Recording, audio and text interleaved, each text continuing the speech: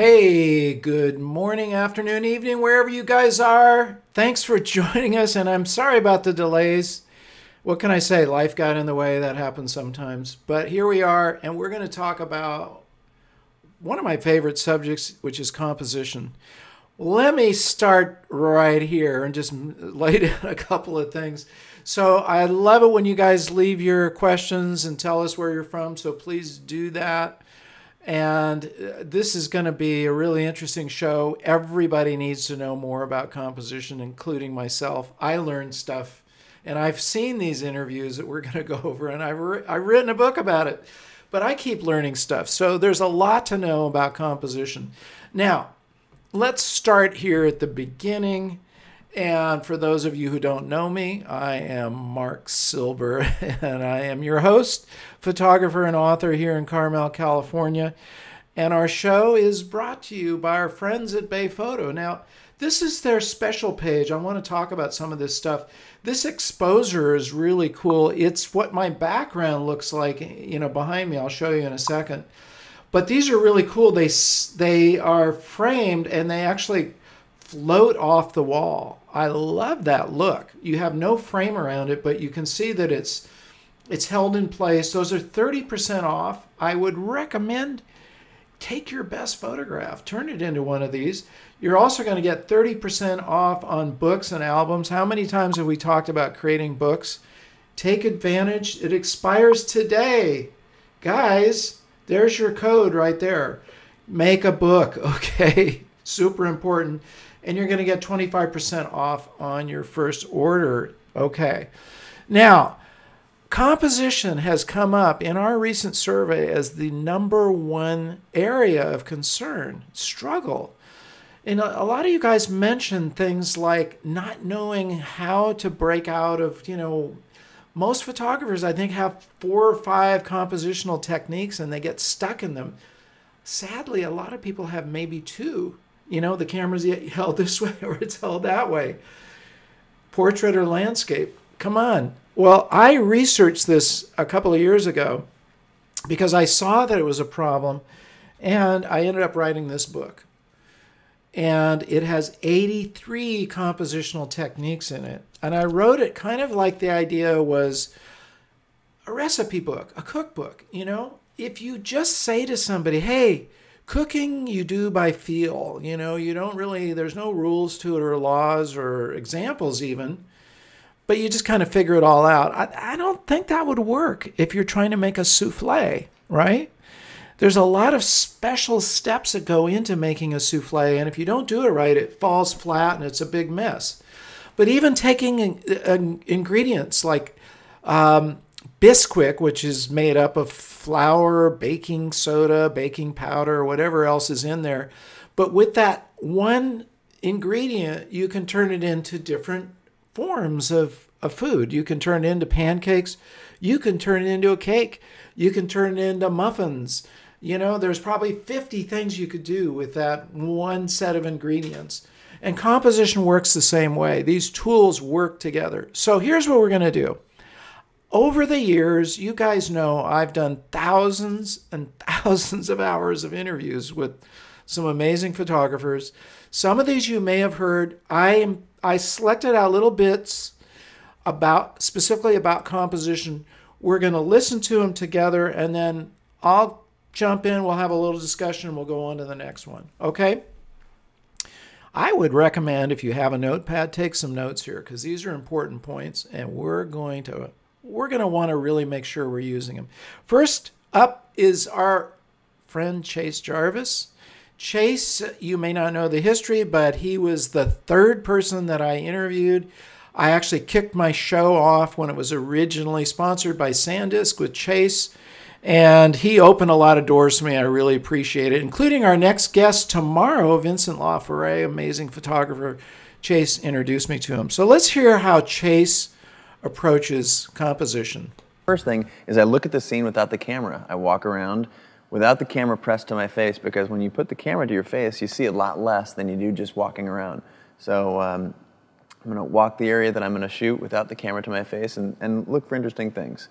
Uh, when I find things I'm going to shoot, or uh, you know, I can build a scene in my mind, then I'll start putting the pieces together, and and that's kind of a visualization for me. So uh, when I'm visualizing, I know exactly how I want this thing to look. I know I want this edge of the frame to be, you know, next to this tree, and I want my subject running or jumping into this part of the frame. Um, and, and I, I even actually pre-visualize all the way to, to what this could look like in post-production. Sometimes the, the simple moments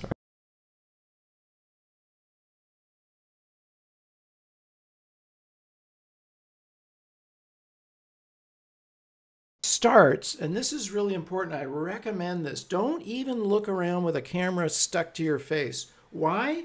Because you're already limiting your view. You want a wide view.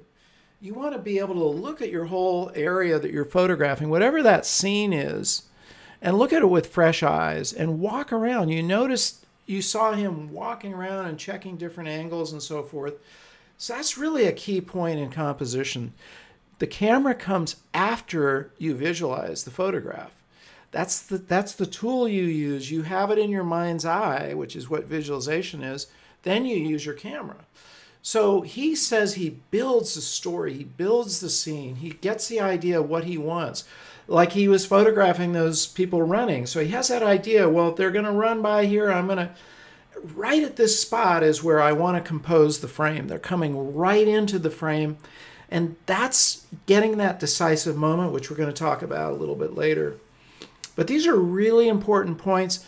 Don't disregard how important it is to use your own eyes and your own feet in setting up your composition. Okay, so let's jump into our next guest here. I've got to just rewind this a little bit here. Sorry, these, are, these were tightly edited. Okay, this is our friend Chris Burkard sometimes the the simple moments are the best. You know, whether you know whether you're out camping somewhere and you know you're shooting just somebody like reading by their headlamp at the middle of the night, or you know like kind of like a pullback scenic of you know where you parked your van to hide out for the evening while you're you know waiting for the surf in the morning, something like that. You know, or whether it's just like late afternoon, you know, evening light kind of beaming down through like some fields, you know, and you're just sitting there watching the waves. I mean, any simple little thing that's going to kind of spark an interest or spark a meaning in someone. I think that's kind of what I aim for. Because where do you point your where do you point your camera?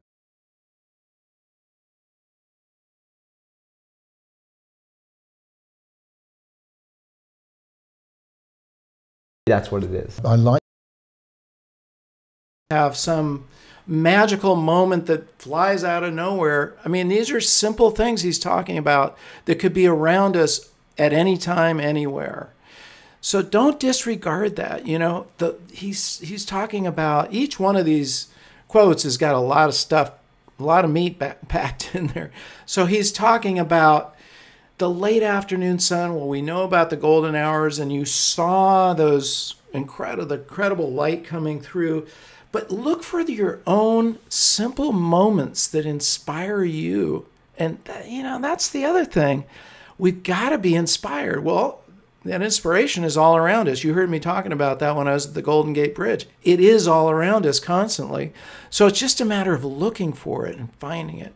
Okay, now we're going to hear from our friend Bob Holmes. Let's see what. Getting close to subjects so that you feel part of the scene. And then the, the composition, I do almost intuitively. I'm always scanning the edges of the frame mm-hmm. automatically because we're responsible for everything in that frame. You know, as a photography, it's your fault if there's something in there that shouldn't be. Right. You know, if there's a the antenna coming out of someone's head or whatever, it's your fault. You should have seen that. Be fully involved with your subject. Right. To take your very best photographs, you have to be on your own. Yes. And you have to give the subject 100% of your concentration. You have to be there. Right. And aware of everything. And that includes when you're looking through the camera, even before you look through the camera, be aware of everything that's going on in that image that you're hoping to capture interesting is these guys are building on each other. So here's Bob again saying what Chase said, which is even before you pick up the camera, you want to you want to visualize what is going on. You need to look around and see what's going to interfere with the frame. You're responsible for everything in the frame. Pretty powerful point. You know, and don't rely on Photoshop or Lightroom to remove these things. I mean, yes, sometimes we have to do that. I do it. Look, if I have a power line I can't get rid of, yeah, I'll get rid of it in Lightroom or Photoshop. But really, my best recommendation is do all your composing in your camera and don't rely on cropping it later. But the other point he mentioned, which is really, um, he's brought this up before, which is he likes to use a wide angle lens, like a 28 millimeter lens, but then step in close to his subject to get that intimate feeling. And that's how you get it. So don't think that you could do the same thing with with a 200 millimeter lens standing you know 100 yards away and get the same feeling because you're not interacting with that person this is a really key point in photography photography is about people or subjects that you're capturing but it's your interaction with them. Even a landscape it's how you saw it and how you felt. But you're involved in it and the more you're involved in it the more you have your thumbprint on it as matthew jordan smith said the more it's about you and it's a unique photograph. It's a unique creation which is really what i would strive for. Okay who's up next we've got bob now we're going to we're going to hear from chris again okay so here's our friend chris burkard once again when you stop and think about what's going to be the most significant thing, um, a lot of times it's not necessarily what you're seeing, but it's what someone else might be seeing. And so if you kind of take a step behind them, that's a good way to try and survey things too. It's not just what you're seeing, but what your subject is seeing. And take a step behind them to survey what are they looking at again, boy, you guys, this is this is hard won, powerful advice that you can go right out and use. So we tend to think of taking pictures of people where they're standing right in front of the camera. Okay, that's normal for a portraiture. But there's another type of portrait, and it's called an environmental portrait. An environmental portrait is where you're taking a photograph of somebody in their environment Bob Holmes had a few of those. You saw the guy in the butcher shop, you know, whatever. And Chris here, the surfer, this is an environmental portrait. This is that person in their environment you're capturing, but you're trying to, what Chris is saying is try to take a look at and capture what they're seeing. Powerful stuff.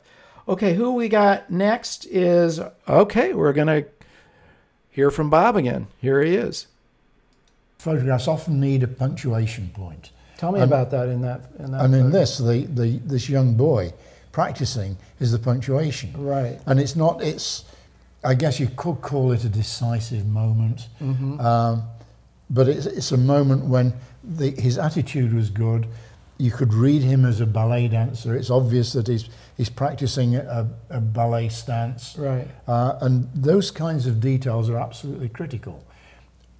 I shot this, I, I rarely take a single frame. I shot several frames of this, and this was the one that I like the best because of his attitude. Mm-hmm. And it's not just, it's punctuation, but there's also has to be the right gesture. And this combines both.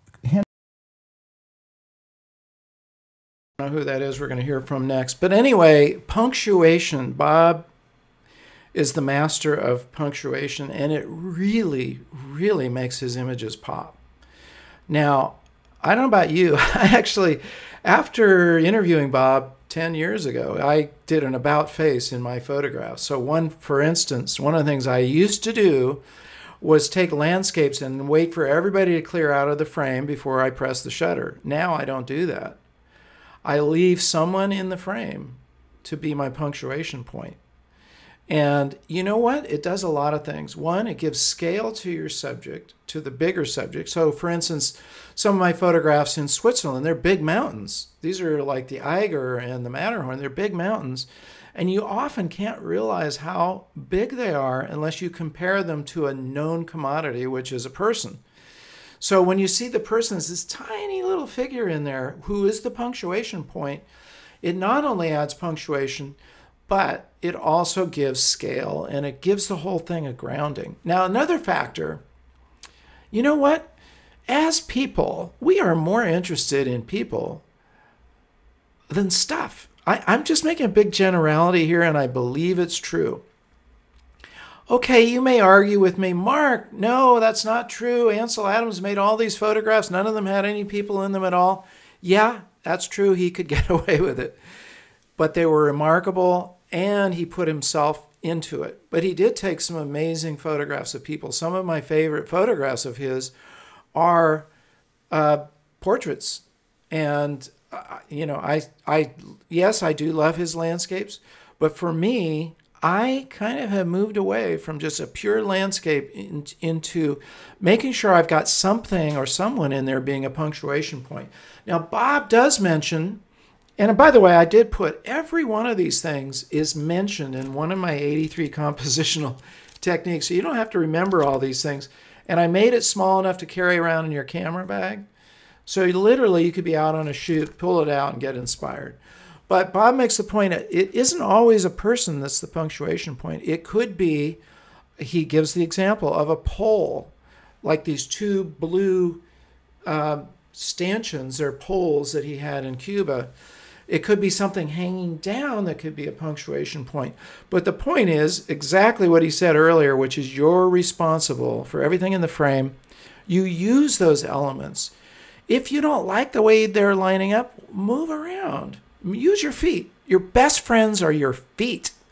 This is, you know, one of the drawbacks to a zoom lens is it it's a lazy way of kind of moving around when you should be moving around. You're just zooming in and out. And yeah, I do that. Okay, I'm guilty of that too. But really, my earliest work was done with a single lens.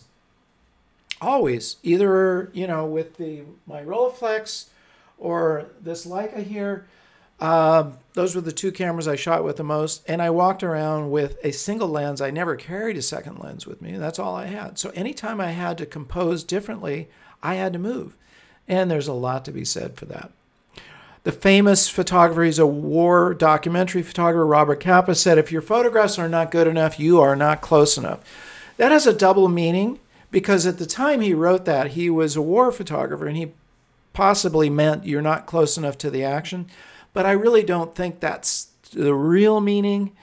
It it yes, you should be close to the action, but the action could be whatever it is you're pointing your camera at. So keep your feet as your best friends. Now we're going to hear from this guy. I don't know who he is, and I'm not even sure why I included him in here, but let's see what he has to say. Here he is. Cartier-Bresson, who was one of my mentors as a photographer, basically coined a phrase called just the decisive moment. Uh, he's one of the most prolific photographers from the last century. And he is all about capturing that exact moment when something is occurring. You could say, well, does he visualize even that? Because these things have to happen in a split second.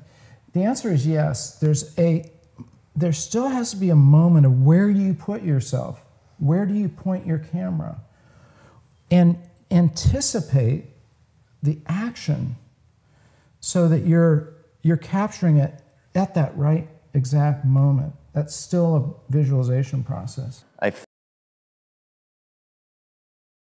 it was fun. That was an NPR radio show I did after releasing. Um, I think it was releasing this book. Uh, actually, it might have been my first book. Uh, it was kind of thrilling to be on NPR, actually. You know, it's interesting too. You're on radio talking about a very visual subject, so I had to, you know, include a lot more detail in there. But this moment, uh, capturing the moment, is a big deal, and it kind of incorporates a lot of these points we've already gone over. Capturing that decisive moment. Well, Chris Burkard said, you know, find those, find those simple moments Okay, Chase talked about, you know, again, these guys are building on each other. He was talking more about creating a moment, you know, because what example he gave was in advertising. So he was using it as an advertising photograph, but he still had to build that. And Bob is talking about making sure you're looking at everything in the frame and then capture that exact moment. This is really important. It's a drill, too, guys. You have to be fast. Now, Cartier Bresson he if you don't know his work, I really really recommend that you buy one of his books or look him up online. But really, you gotta you gotta own his book because again, an online version it's watered down compared to the feel the visceral feel you get when you pick up a book and you can stare at it, you can look at the photograph, and it jumps back at you. That's what his photographs do to me. They just pull me into the scene. And he was the master at finding those moments. So that's a key tool. Always look for that moment. Something is happening where, you know, you could press the shutter a little bit before, a little bit after. My picture of the kids jumping, you know, I had to capture at that exact moment or whole, the whole thing would have fallen apart. And that comes from just training your eye and being fast with your shutter. Okay, now we're going to hear from Chase again, talking about the thing, kind of that sais quoi, that little added ingredient.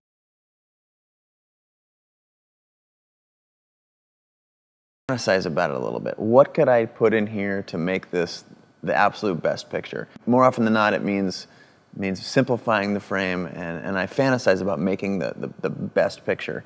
And then uh, last, which is I think kind of uh, marquee of my work, is trying to do something that is unusual. How can I put a little twist on it? Or as we say when we're on set, how can we turn this one on its head? And uh, I look for ways to make it different, and uh, th- those are the little things that separate it from making it an interesting photograph to a great photograph. How can you turn a photograph on its head? That's a good question. And that's, you know, something you could look for. Like, what could I do? So I've got this image. I've maybe taken this photograph too many times already. Okay, the sun is going down over the water. Dude, I mean, how many sunset photographs can I take? What can I do to turn it on its head? What can I do to change it up? This is especially true when you're photographing iconic places. The Eiffel Tower, for instance. Well, I don't know if you've seen my image of the Eiffel Tower, one of the one of the ones that I use in my book. It's a black and white photo looking up at an angle, and you don't even really see the whole tower. You just see a part of it. To me, that was my way of turning it on its head rather than taking the normal postcard image. Now, one way you can determine how not to make a cliche photograph like that is look at what's in the postcards, literally. I mean, you can see, okay, well, everybody goes to Yosemite and takes this picture of Half Dome this way. Well, find something different.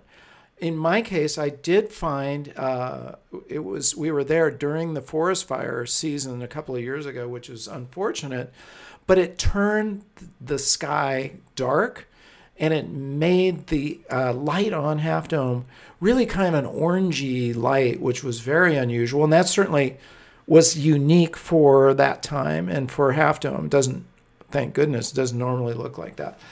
But he did talk about you fantasize like, what could you do? What could I do to really make this image pop? And he did say something really important, which is normally that means simplifying.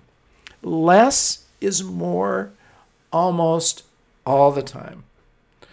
Especially, you know, again, if you have something in your frame that doesn't belong there, get it out of there. Clean it up. Clean up your frame. Move or move the don't hesitate to get in there and move something that doesn't belong there. You're taking a picture of a person on a piano and there's a there's a whole clutter of stuff on the piano. Well, why don't you clean it up first? There's nothing wrong with that. It's been done by the best. Okay. Now, I think we've got one or two more here. We're going to hear from, uh, oh, yeah, next up is Chris Burkard. And Chris is going to tell us some interesting stuff about framing and leading lines. Let's hear what he says. For just things that kind of stack up and lead your eye away, whether it's a whether it's a straight line or whether it's you know the angle of the beach or something like that. Framing is key whether it's a branch or you know you can take the most average mundane shot of just a, a, beach with you know maybe a simple backdrop and you you know kind of put a branch in there you, you kind of peek through a tree or out a doorway or a window and you just add an instant frame that kind of you know offsets your photo and makes that much more unique but first thing i ever learned about photography taught to me by my uncle sambo who was a photographer was framing and you know, here's Chris talking about it. It's one of those basic things. Do not overlook it. There's a lot of ways to frame something. And, you know, he says poke through, you know, look through a tree, see branches. And that always builds interest. There's something about it, you know, we're looking through something, it's unique. And it gives us a unique view. The other thing is leading lines are really powerful. Things that lead your eye to where you want the subject to go. In that case, he had examples of the logs on the beach, you know, diagonal diagonal lines are also very powerful. They show motion, movement, it's a dynamic thing. Level lines are very passive. So if you want to give it a dynamic feel, you can look for something that's a leading line that angles off like that. Always look for the frames. There's so many ways to frame. Again, in my book, 83 composition tools, I could group maybe 10 of them, and I should do that, into framing techniques because there's a number of ways you can frame. You can frame in an oval. Did you know that? Or circular frame. Like you could be looking through something that's circular, that's a circular frame. There's, you know, there's rectangular frames like a doorway or a window. Those are all very useful tools. And something don't ever because it's a basic thing, don't ever forget it. It should be in your toolkit all the time. Okay, next step is um, Bob again. Bob's going to talk about symmetry. I love symmetry. Here's Bob. The symmetry that made the shot. You know, I wanted it to be symmetrical. Yeah. It, it just came together for me as a symmetrical photograph. And, you know, very often portraits I shoot symmetrically. This portrait of a guy in Western Cuba smoking a cigar. It had, I wanted the cigar because it's Cuba. Mm-hmm. I like the, his hat in the background framing the photograph. Yeah. And then I shot it until the smoke was in just the right configuration. It took a lot of frames. Mm-hmm. You know, sometimes the smoke went over his face, over his eyes. With this kind of shot, you always have to focus on the eyes because we always have eye contact. Whether it's a painting, a photograph, or in person, we always look at each other's eyes.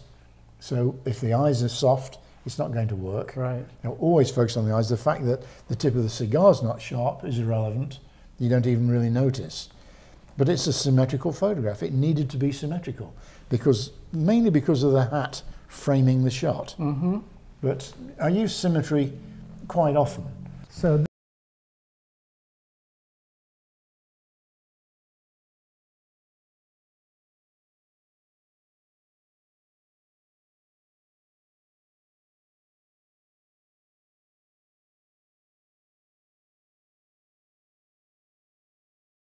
guys. There we go.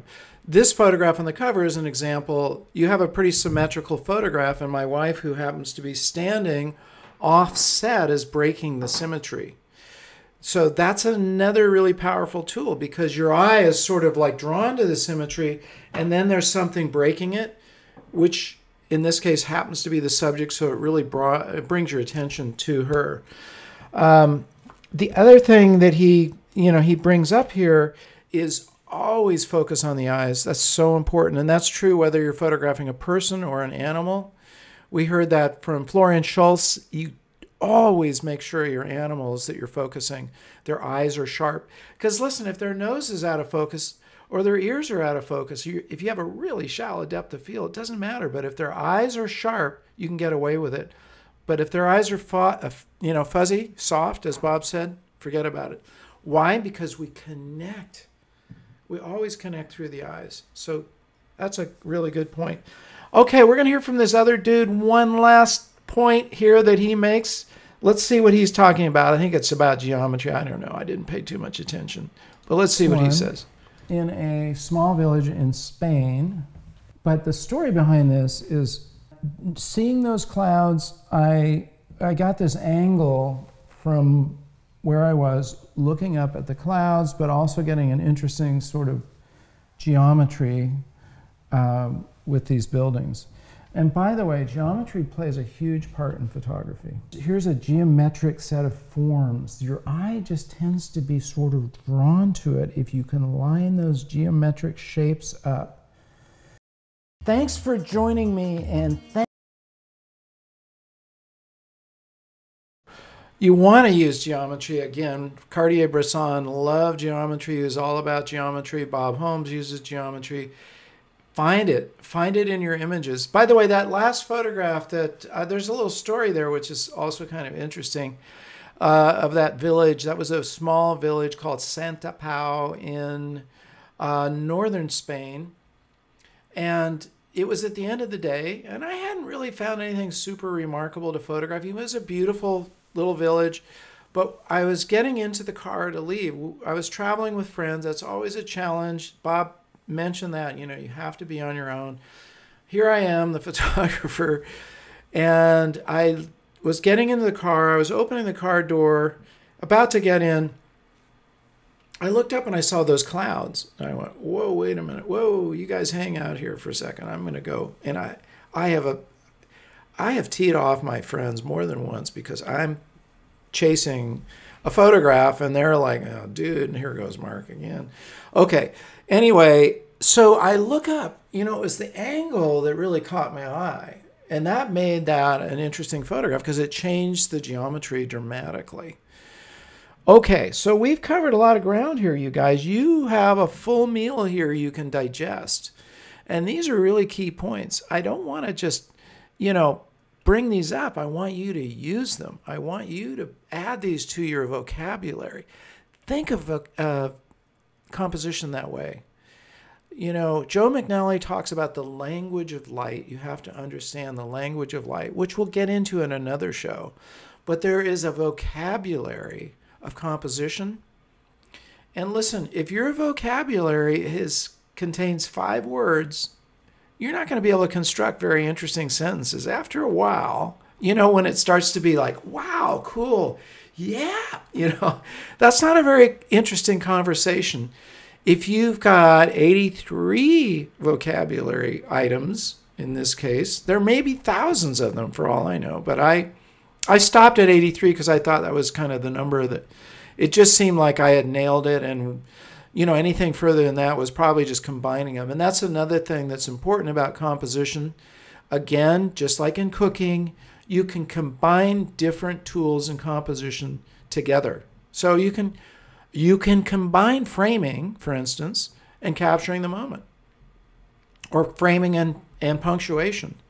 You know, those obviously can go together very nicely. Or leading lines in framing. You know, they're not always just going to single themselves out and stand out on their own. You, you're presented with whatever you're presented with. Okay, so let's take up um, some of these questions. I see this one from Lorraine. I think I struggle with feeling like I have to document as it is and I hesitate to move things. Okay, yeah, that depending on what you're doing. Are you a documentary photographer who is obliged to leave everything the way it is? Okay, then that's what you're shooting. Fine, you can't do that. You you feel like it would be, you know, morally a, a, a breach because you've done something fine. I'm not really talking so much about that. Uh, I'm talking about, in, in, in that case, you really still need to move around and take advantage of what Bob was saying.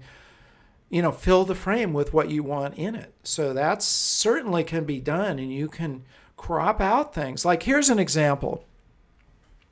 If you're taking a picture of somebody and you stand at uh, eye level and there's some kind of building or object behind them that's that's going to be distracting well one way you can get around that is you kneel down you get a low angle and all of a sudden they become more prominent in the frame than whatever the object is behind them. This is why sports photographers you'll often see them kneeling down on their knee they're not just doing that to get comfortable they're doing it to for a couple of reasons one that athlete instead of being framed against like a building, all of a sudden they're being framed against the sky. Okay, so that opens up. The athlete against the sky is more interesting than a building right behind them. It also makes them look more apparent, more uh, strengthens them. Whenever you take a photograph of somebody and you're looking up, they're going to look bigger and more dominant in the frame. So those are a couple of different points.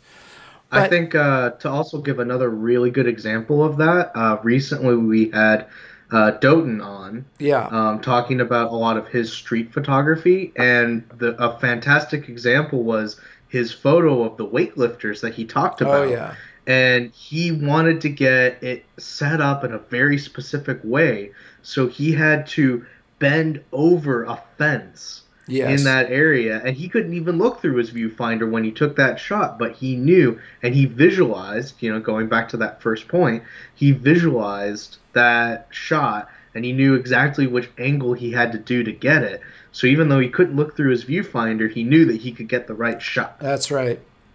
Yeah, and Jared, absolutely, real estate photo- photographs should be clean. I mean, if you're going to sell a house, I mean, this is just you know real estate 101. You want it to look good. You, one of the things about that too is you don't want things that are personal objects that are going to distract the person from what you're selling because they're not there to buy your your knickknacks. they're there to buy the house minus the knickknacks because they want to visualize what their own stuff would look like in its place. So clean is definitely the way you want it to be. Okay, one or two more questions. What else, Jared? Are there any others that we have in there? uh, i don't know that i've seen uh, any questions but a lot of people commenting and a lot of people really like you know just to reemphasize what bob talked about Yeah. um, you know you're responsible for everything in the frame it's a really good mantra and like i said in the chat um, you know it applies to all kinds of art and really just about anything that you're doing That's right. marc marc says it a lot like this is a quote that we say uh, probably on a weekly basis you know you're responsible for everything in the frame it's certainly something that we try to use you know here at the studio with our work Yeah. um, and it, you know, it's a very good. It's like uh, Truman's. You know, the buck stops here. Um, you It's know, true. it, it's just another way of saying that the buck stops with you as a photographer, and you're responsible. Yeah. Well, that's so true. Listen, you guys, thanks for joining us, and I'm glad we had a chance to talk about composition. It won't be the last time. I'm not just trying to sell you this book, but uh, listen, I knew when I wrote the book that this was a big area of concern. And I couldn't find anybody else who had written a complete roundup of composition. So I thought, okay, I'm going to do it. And I researched not only all the people I had interviewed, but I started to research classical art.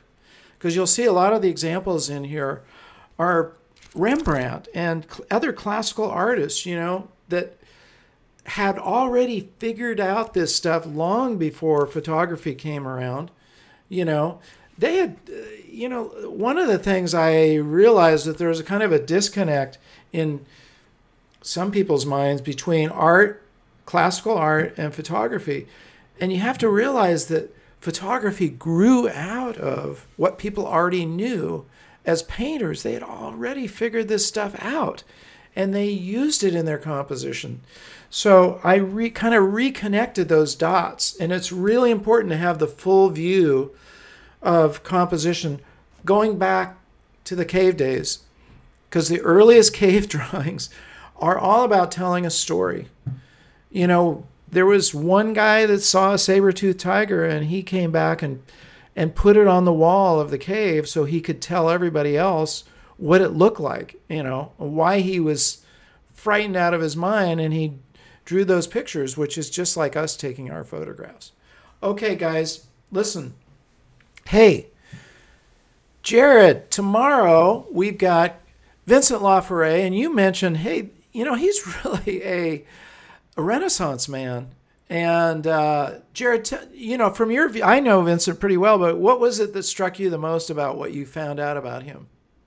I think what really struck me about him is, man, he has just done, and his website's really good. Uh, I'll put it a link in the, uh, but let me find that. But Linz, uh, if you look at his all the different things he's done, you know, he's worked with uh, Apple, and then he's done Yeah. like kind of travel photography, and he has like some super artistic stuff Yeah. and then like really serious like he uh, did reporting on um, 9-11 he did a lot of post 9-11 reporting Yeah. um, he did katrina photojournalism he's done sports like man it's like is there anything that this guy has not done when i was uh, you know he does fine art it's just does it amazing the breadth of all the stuff that he's done i'm going to put his Yeah. link here in the description right now. Oh, before I Uh, so I forget, highly recommend you check that out. yeah, thanks, Jared. While I'm on the the subject of survey, will you put our survey in there too, our newest one? If you guys haven't taken it, will you please take it? It's really helpful. If you want to participate, if you don't want to participate, don't don't fill out, don't bother with the survey. It's going to ask you, you know, how you'd like to participate. And it's, I think it's pretty cool because we're finding areas that people really want to contribute, and participation is really important. You know, we're building a community here. This isn't just about a couple of guys, you know, doing a YouTube channel. This is about you. It's about you, wherever you are in the world, being a part of an international movement of photography and creativity and continuously elevating that. That's what AYP means advancing your photography. Okay, guys, tune in tomorrow, 10 a.m. Please be there with us. And will you please subscribe if you haven't? If you're watching this video, haven't subscribed, do so. Like it, share it, you know, leave your comments. I, I read your comments. I read everybody's comments and I try to reply to every one of them. Okay, and remember, say it along with me remember to get out and capture your own images of life. And we'll see you guys soon. Love you guys. Take care.